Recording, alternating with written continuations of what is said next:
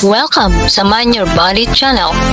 Kung bago ka pa lang sa channel na ito, ay huwag kalimutang mag-subscribe at pagkipindot na rin ang notification bell para updated kayo sa mga susunod na videos ng channel na ito.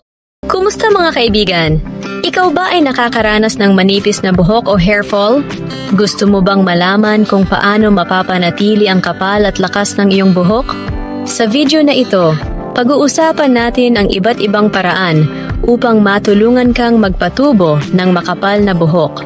Sa dami ng produktong pampabuhok sa merkado, paano mo nga ba malalaman kung ano ang pinaka-epektibo? Baka nandito na ang solusyon na hinahanap mo Iba't ibang nutrients at factors ang nakakaapekto sa kalusugan ng ating buhok. Kaya't bibigyan kita ng ilang mga tips na akma para sa mga Pilipino. Number 1. Kahalagahan ng iron. Ang iron ay isang mineral na mahalaga sa pagbuo ng hemoglobin na siyang responsable sa pagdala ng oxygen sa ating dugo. Kung walang sapat na oxygen sa anit, ang mga hair follicles ay hindi magkakaroon ng kinakailangang nutrisyon, kaya't posibleng magdulot ito ng hair thinning. Para sa mga Pilipino, pwede tayong makakuha ng sapat na iron mula sa mga pagkaing tulad ng karne, itlog at keso.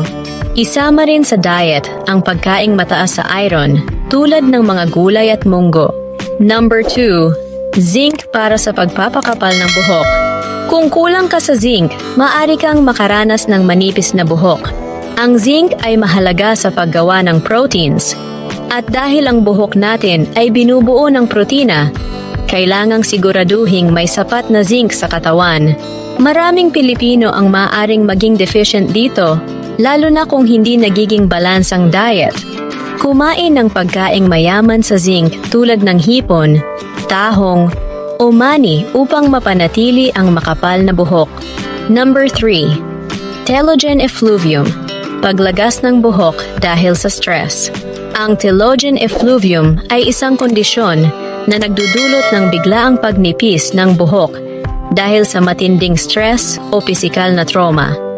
Kung ikaw ay bagong panganak, nakaranas ng surgery, aksidente, o matinding emosyonal na stress, maaaring magsimula ang paglagas ng iyong buhok. Para maiwasan ito, siguraduhing nakakakuha ng sapat na zinc at umiwas sa sobrang pag-inom ng alak o sobrang tamis na pagkain na maaaring magdulot ng kakulangan sa zinc. Number 4. Omega-3 fatty acids.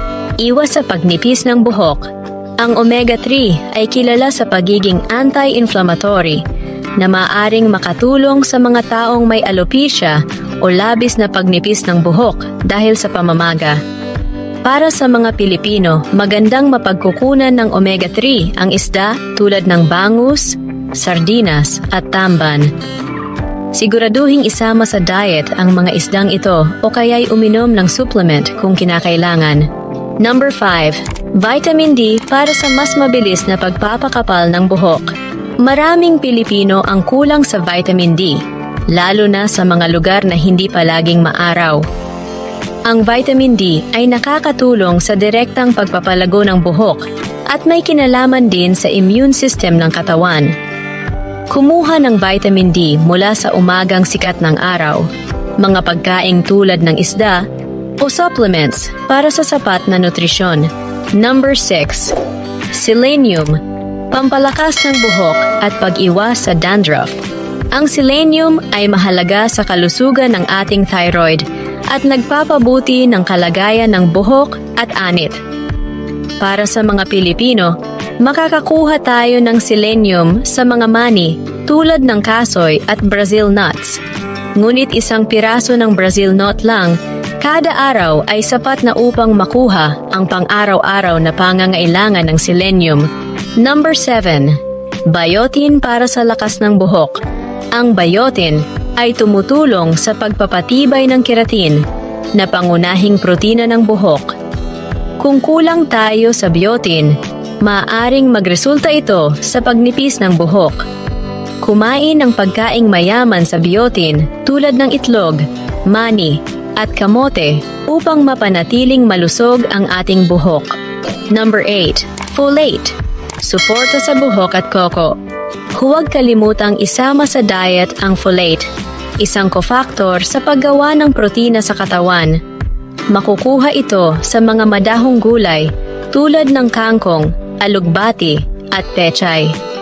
Siguraduhin kumain ng mga gulay araw-araw upang mapanatiling malusog ang buhok at mga kuko. Number 9. Vitamin C para sa malusog na buhok.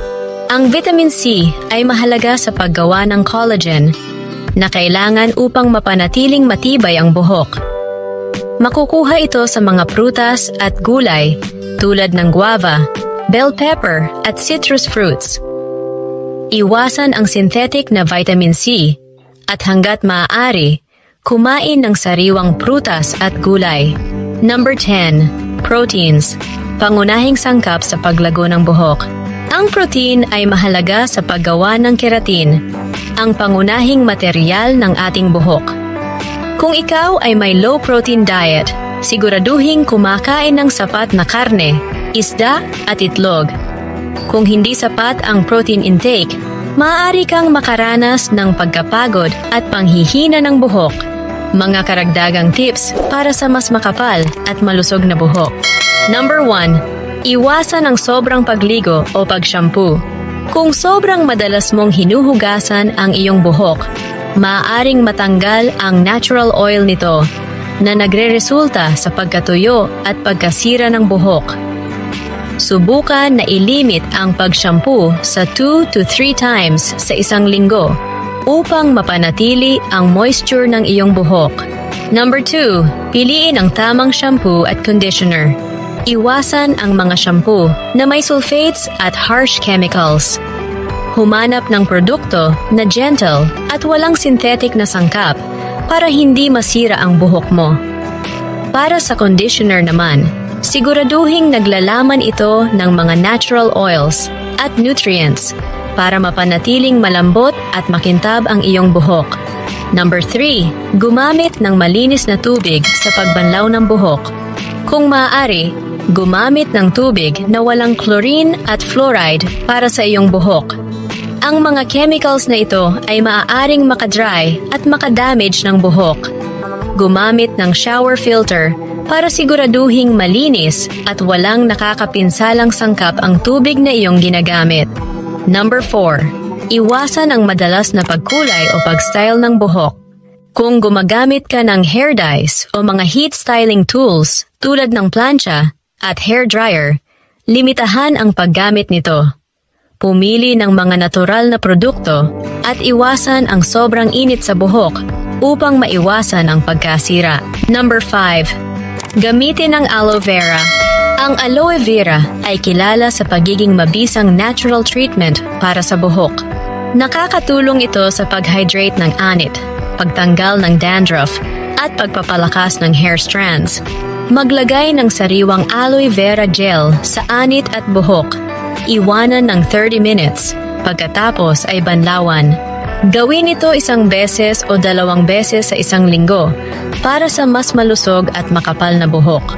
Number 6. Bawasan ang stress. Ang stress ay may malaking epekto sa pagnipis ng buhok. Subukan ang mga paraan tulad ng meditasyon, yoga, o simpleng paghinga ng malalim upang makapag-relax. Kung mas mababa ang stress level mo, mas magiging maganda ang kondisyon ng buhok mo. Number 7. Tigilan ang paninigarilyo. Kung naninigarilyo ka, mas makabubuting itigil ito. Ang paninigarilyo ay nakakapagpatuyo ng buhok at nakakaapekto sa overall health ng scalp at hair strands. Sa pagtigil sa paninigarilyo, maiiwasan ang pagkasira ng buhok at mas magiging healthy ang texture nito. Sa mga tips na ito, matutulungan mo ang iyong sarili na magkaroon ng makapal, malusog, at matibay na buhok. Kung may iba ka pang tips o karanasan sa pagpapakapal ng buhok, i-share mo naman sa comments. At huwag kalimutang i-like at i-subscribe para updated ka sa mga bagong videos natin. Disclaimer, ang video na ito ay maaring makatulong sa iba't ibang mga karamdaman. Gayunpaman, wala pang sapat na pag-aaral at wala pang kasiguraduhan. Hindi ginagarantiyahan ng Mind Your Body channel na gagana ang mga epektong nakalista sa video na ito dahil maaring hindi gumana ang mga ito para sa iba. Tulad ng lahat ng mga gamot, mahalagang isang guni ang pag-inom, pagkain o paggamit ng mga tinutukoy sa video sa inyong doktor. Ang layunin ng Mind Your Body channel ay magbigay ng edukasyon sa kalusugan. Ang aming hangarin ay ipalaganap ang impormasyong pangkalusugan upang matulungan ang lahat ng mga Pilipino na makamit ang isang malusog at magandang pamumuhay. Tandaan, ang susi sa mas malusog na buhay ay nasa balansing nutrisyon at maingat na mga desisyon. Mahalaga ang pagkonsulta sa isang profesional sa kalusugan o dietitian para sa personal na payo at karagdagang kaalaman. Huwag kalimutang mag-subscribe para sa higit pang mga tips tungkol sa kalusugan at kagalingan. Hanggang sa susunod na pagkakataon, mag-ingat kayo at manatiling malusog. God bless sa ating lahat.